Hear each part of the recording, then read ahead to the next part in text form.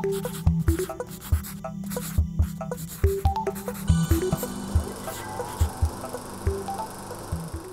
will speak about the, um, the work I show here in um, Albertina. So it's an animation movie. It's um, oil painting on a plexiglass, and it's stop motion uh, technique. So it's the really most basic animation possibility. So it's in loop, and it's always this four um, landscape. So you have the bottom of the ocean, the ocean, the earth, the star, and at the end the planet. And I wanted to do a very simple narrative with just five landscape. And these five landscape can be the history of life, they can be the history of technology with the fact that we will go on Mars soon uh, to live there probably. And um, I, well, I usually show it in loop, but um, it all starts uh, on a boat. It all starts um, in Tahiti, actually, this work. I was with uh, my sister and the kids, and um, the whole work is mainly about memory and how we rewrite to past, how this past is um, interacting with uh, history, with capital H, and how in this constant uh, narration of ourselves. And um, so there was a few things happen in Tahiti. Um, first, I, do, I dive for the first time, and that's why I wanted to have the first um, image of the movie that is uh, under the water, because I was fascinated by this different space. And the other thing that was quite fascinating was the, um, the landscape as an image, and that this image, it's great as long as it's an image, but as soon as you're in this reality, there is a kind of clash, and you cannot really be in the same space than the, than the landscape. It was very weird for me. The whole holidays, I didn't find the relationship between me and um, surrounding. And I quite like this image because um, you have this uh, idyllic uh, landscape here, and there's this really, it's like two times that are never really connected.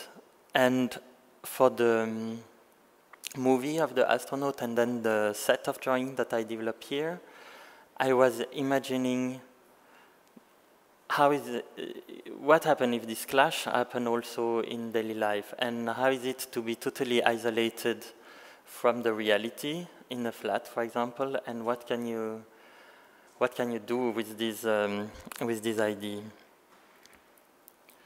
And then my little nephew, he has a secret one day. And um, for three days, I had to beg him to tell me the secret. And at the end, he told me that there is a password. And it took three other days that I have the password. And the password was the astronaut. And it's when I got this word and this idea, this feeling with the landscape, that really the work started to exist in a way. Um, I will just show some of the image of the drawing. So it's a very simple drawing and I was just um, going in the flat and taking the most simple daily banal element and um, we draw it.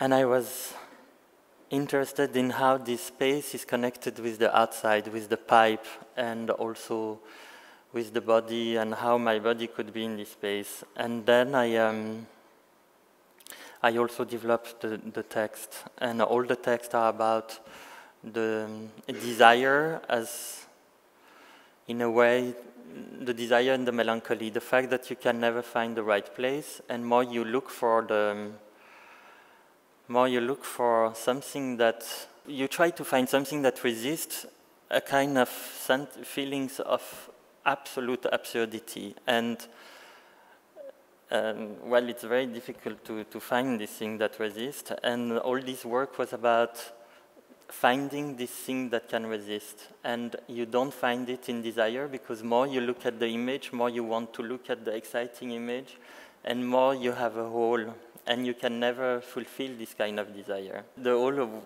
work was really about this idea, and the astronaut is also this figure that try to find meaning or to find at least a space. But it seems that every time that you want to find space, he finds time. And when you want to find time, he finds space. And there is never a kind of um, point where these two notion of the, the, the idea of the desire and the idea how this desire will be fulfilled that can click at some point. So there is also um, some text, and I will just um, read one. All night long I kill people, and the game unravels spaces and levels where I slaughter countless enemies. I sing of a holocaust. And the more I kill, the more I am on the verge of excitement, endless expended resources, never satisfied until I reach total exhaustion, until I dream of the corpses, I'm still shooting at in my dream, laughing at the convulsion. And the second text, I'm an astronaut. I look for something, but there is only emptiness and black or intense light that blinds me, and all around the most profound black, rendered dense, and that slide over the surface of things and sleeps.